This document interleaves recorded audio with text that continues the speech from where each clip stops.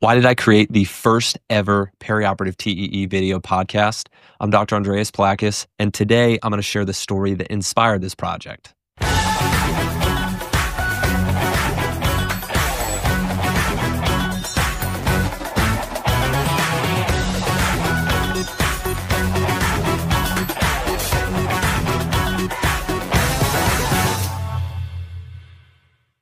Welcome to Tea Time, or also said TEE Time, where we talk about all things perioperative TEE. I'm your host, Dr. Andreas Plackis, and today I'm going to discuss why I even created this podcast in the first place. A little bit about my background is I'm a Vanderbilt trained cardiac anesthesiologist. I board certifications in anesthesiology, cardiac anesthesiology, and advanced perioperative transesophageal echocardiography. I'm in full time clinical practice with robust cardiac anesthesia and structural heart experience. And really, I'm a TEE enthusiast by heart. It's what led me to create this podcast. And really, my overall mission in this, which I'll explain, is to transform perioperative TEE education. I want to discuss the importance of perioperative TEE. It really helps guide intraoperative decision making. This includes evaluating cardiac surgery success, optimizing hemodynamics, detecting complications, or even in some procedures, uh, actively guiding the procedure.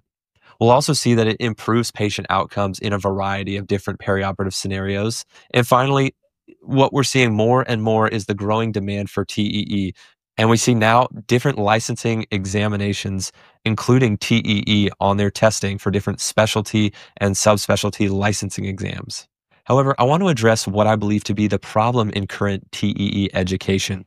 Healthcare professionals are very busy, and a lot of the current day TEE sources are long winded, there's scattered sources of information and frankly uninteresting. It's hard to keep people engaged. And probably most importantly about that is they're not clinically relevant.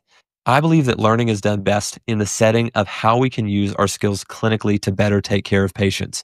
Several years ago during my cardiac anesthesia fellowship, I had the experience of trying to prepare for my own cases and realizing that there was no high yield, concise source to help me prepare for the use of TEE during my cardiac surgery cases. I think we can do better with perioperative TEE education. So that leads me to the mission of Tea Time. Well, it's the first of its kind video podcast devoted solely to perioperative TEE education. I want to emphasize that episodes will be concise, high yield, and very engaging, and they'll also be in a video format as TEE learning is so visual in the first place. Most importantly, these will be clinically relevant. I want what you learn in these episodes to help you in your cases tomorrow. And they'll follow evidence based recommendations for TEE practice. The type of people that Tea Time was created for are anesthesiologists, cardiologists, cardiac surgeons, cardiac sonographers, ICU team members in cardiac ICUs, really anyone learning or performing perioperative TEE. As far as the content specifically that we'll be covering, well, if you can imagine a perioperative scenario where TEE is used, I plan to cover it. And the structure of the content will be in case based episodes where we talk about specific cases and what you should know about TEE before your case starts. As you'll see here, each episode will be guided by a clinical question. So today's clinical question is How will this perioperative TEE video podcast help you take better care of your patients? Because we're going to talk about valve repair and replacement. We're going to talk about TEE and CABG surgery, temporary and durable mechanical support, aortic dissections, heart and lung transplants, TEE and congenital heart surgery, in various structural heart interventions, also touching on rescue echo and a variety of non cardiac surgeries, such as liver surgery, liver transplants, renal cell carcinomas, uh, major vascular surgeries. We are going to touch on so much more than this as well. Now, what Tea Time is not. These podcasts will not be lengthy, they won't be ultrasound physics lectures, and they won't discuss very elementary concepts.